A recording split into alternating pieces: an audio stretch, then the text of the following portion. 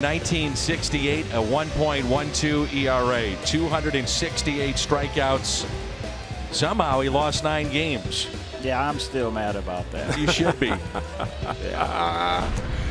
Oh, 22 man. and 9, and you lose nine games with a 1.12. Well, let, let me interject something. Bob finally decided that every time he pitched, we had to face the ace of the other staff. We'd have, we'd have to face Marichal, Perry, Drysdale, Koufax, the likes of that. Ferguson Jenkins with the Cubs. Ferguson Jenkins with the Cubs. Yeah. I talked with Red about that one time. I said, Red, um, you've pitched me against the other team's best pitcher uh, all the time. Why don't we switch that around a little bit? He said, Well, if you beat them, we can sweep. I said, If they beat me, they can sweep. Even though you had pretty good backup in those days, too. Yeah, yeah, Nelson that's. Browse, Ray Washburn, Steve Carlton, Dick Hughes. Dick Mm-hmm. Hughes in 67. And we're underway here in the second inning. The great Bob Gibson, the Hall of Famer, is with us. 1968 for you. Uh, does it define you, you think, in many ways, the 1.12? No, I, I you know I had a, an exceptional year that year, um, and I don't think that you can define a player by the best year he ever had. You got to kind of take a, a, look at his whole career. Then you come to an average, and that's pretty much who he is. Yeah. Uh, you know, I remember one year Joe Torre hit 353 or something like that, and then the next year he was hitting 300, and he was trying to pull his hair out, even though he didn't have much hair left. He had 230 hits that year. Yeah, and uh, I asked him. I said uh, he was agonizing about it. And I said, Joe, uh, answer this for me. He said, What? I said, Do you really think you're a 353 hitter? He said, No. I said, I rest my case. There you go. Is it fun seeing the guys again? Oh, it's always fun. Yeah. Yeah. Sometimes you take a while to recognize a guy because of the color of his hair. I'll tell you one of the uh, one of the funny things that happened among many many things that go on in the dugout, and not a lot of people realize. But Dick Schofield was a lifetime about a 230 hitter or something like that. 217. 217. I- well, well, Dick Schofield would come in. He'd slam. He was what we call the uh, a red A Yeah. and uh, he'd slam it, break his bat, smash his helmet, and Bob said, "Dick, come here." After after one of these tirades, he said, "Let me show you something. See this right here? This is lifetime batting average.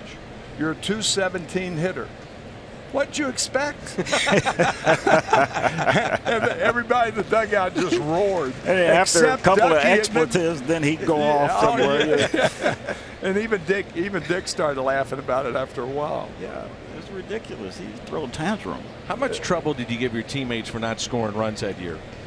You know, it seems like I was giving them trouble all the time. Uh, it was hard, but uh, you know, you, you stop and think about it, and you look back into uh, the years of 66 and 67 and 68 and 69.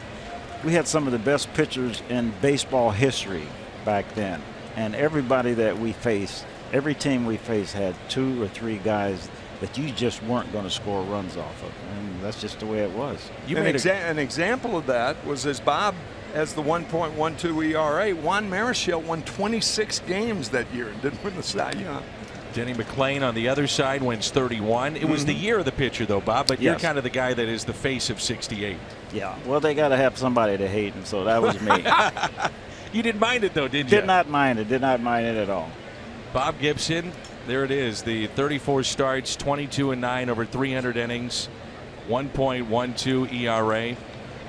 An incredible year. There's a strikeout for Gant, and that'll be his third of the afternoon. You brought up a great point. We were talking uh, earlier, a couple hours ago. Really, the golden era of baseball. When you look back at all those Hall of Famers from, let's say, 60 to 75, 1960 to 75, some of the greatest players ever in your era in which you pitched. Yeah, and, and you, when you ask me if I was, you know, mad all the time, well, you get to the Hall of Fame and you look and you see all those guys there, and you say, well, no wonder I didn't, I couldn't, you know, I couldn't do much. They, they're all here. It's incredible.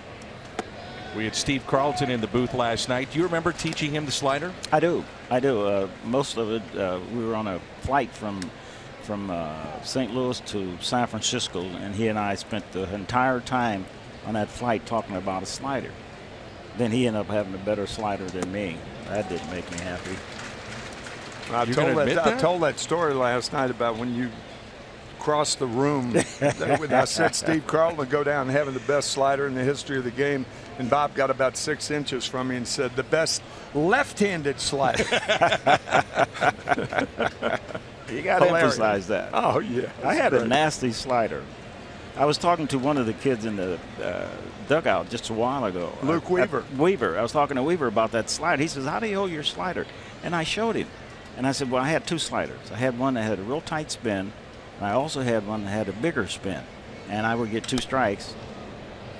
There's a fly ball into right. I'd get two strikes, and uh, and I'd throw the uh, the bigger one. I said, but now you got to be careful about that one because sometimes you hang it, and when you hang it, we, uh, a guy will take the TV set and he'll put it on the hole. He'll run in and grab a bat, and then he'll turn it on and swing at it. Bob Gibson is with us today.